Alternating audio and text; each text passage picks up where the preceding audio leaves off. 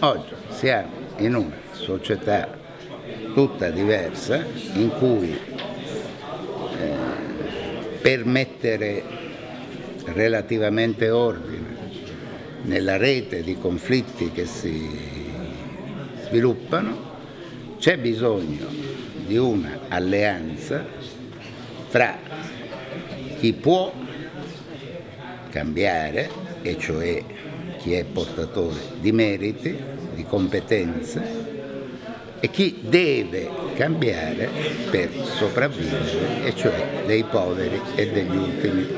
Intervenire sulle condizioni di bisogno che ci sono nella nostra società.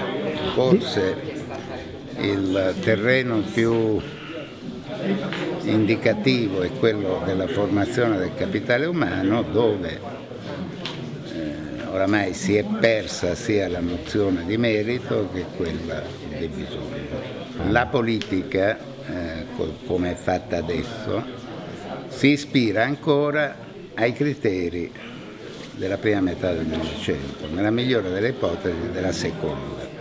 500 anni fa Gutenberg scoprì la stampa, inventò la stampa.